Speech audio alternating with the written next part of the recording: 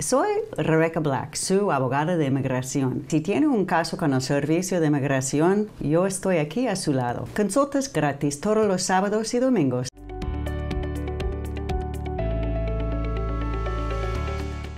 Gracias por estar acá otra vez con nosotros aquí en tu comunidad.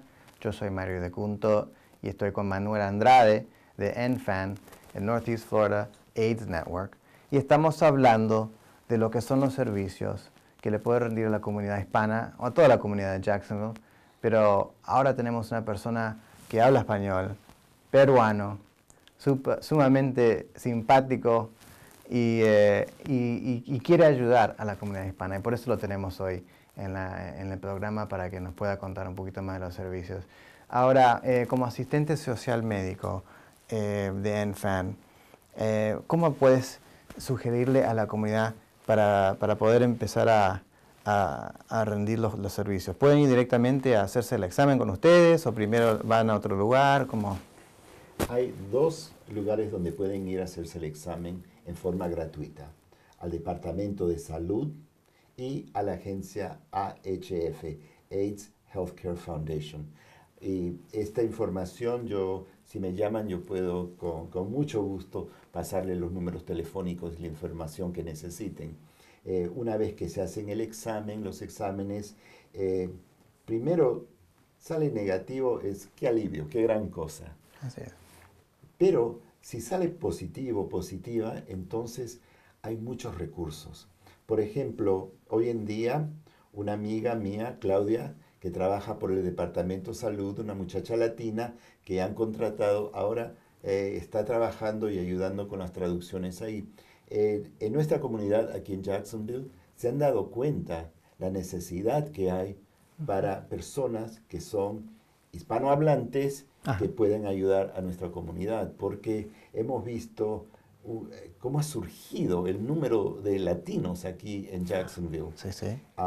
y en, nuestra comunidad, como todas las comunidades, llegan con sus necesidades y, eh, y, buscando el apoyo que necesitan.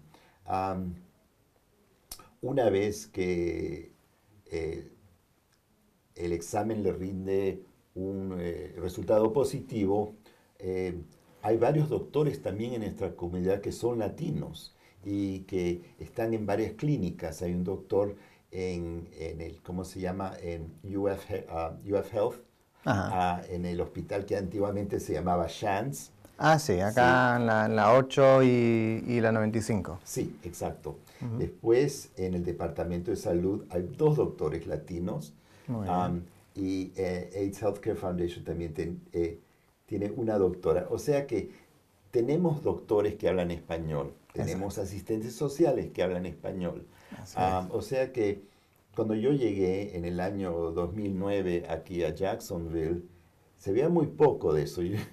Yo, creo que era uno de los primeros que hablaban español que, hacía este ah, trabajo.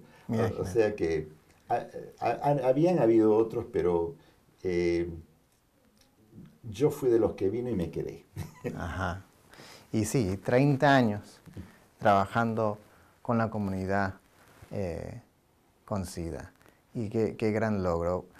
Manuel, ¿me podrías dar un ejemplo de un caso que puede ser que conociste durante tu carrera? Sí, em, son muchos. A mí a veces cuando me siento me vienen las caras y, las historias de tantas personas que han habido, algunos que ya han fallecido y no los guarda en la memoria, y otras personas que, que, están vivos, que tienen unas vidas pero estupendas, que viven bien, que, con sus familias, con sus hijos, con sus parejas, todo todo, todo muy bien.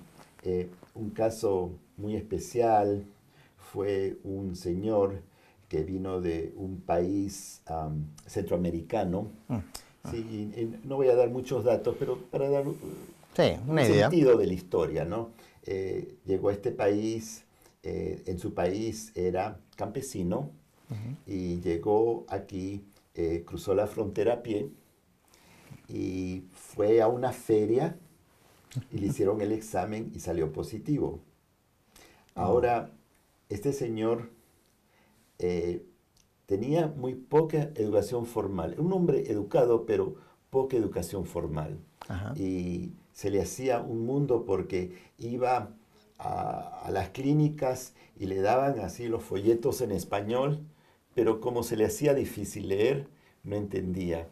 Y me lo presentaron como cliente y empecé a trabajar con él, con su esposa, eh, con una hijita linda, o sea que una familia que se veía eh, muy frustrada por la situación en, que se encontraba. Y bueno, poco a poco eh, fui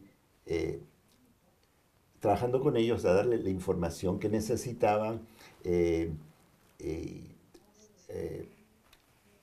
para que entiendan de una forma no complicada, porque siempre complican las cosas, cómo funciona el sistema inmunológico y por qué tiene que tomar sus medicamentos y por qué es importante de tomarlos todos los días y a una hora cercana también. Porque es importante la nutrición y porque eso impacta el sistema inmunológico.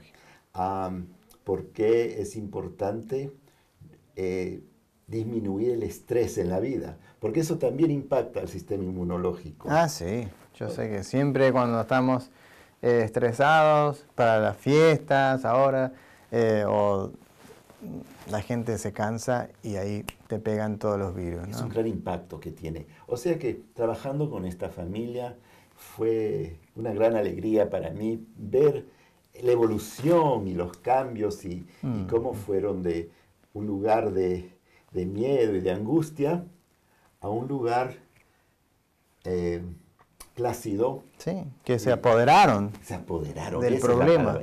no quedaron como víctimas, sino se metieron, entendieron, y esta gente que vino del campo, que no, no sabían bien por qué, cómo, qué nos pasó, por qué nosotros, y de repente, y de repente están ahora en una posición que saben que tienen que hacer, cómo vivir, y poder planear la vida para su hijita. Me imagino que, eso le habrá causado bastante angustia. Sí, esa es una gran angustia porque eh, ellos no sabían qué va a pasar, nuestra hijita está, es positiva o no, ah. y, menos mal que es una criatura linda, que está muy bien y saludable. O sea que eh, es una historia que a mí me hace sentir muy bien. Qué linda historia. Gracias por compartirla con nosotros. Y gracias por estar acá con nosotros y la comunidad hispana de Jacksonville, que yo creo que hoy podemos decir realmente que salimos un poquito más educados y un poquito más eh, enterados de lo que está pasando acá en Jacksonville y la importancia de mantener a nuestros hijos, a, a nuestra familia informada y al tanto de lo que está pasando y cómo prevenir y entender qué tenemos que hacer para, mantener una vida eh, sin HIV o con HIV, pero tener una vida eh, sana y salva. Gracias Manuel por estar con nosotros. Gracias a ti, esta es una gran oportunidad para mí poder difundir esta información. Agradezco. yo, estoy agradecido, la verdad. Vamos a poner la información de Manuel sobre la pantalla eh, al terminar, así todos pueden, tener el, pueden comunicarse con él. Gracias por estar con nosotros nuevamente acá, eh, aquí en tu comunidad. Nos vemos para la siguiente edición. Yo soy Mario de Cunto con Manuel Andrade. Muchas gracias. Hasta la siguiente.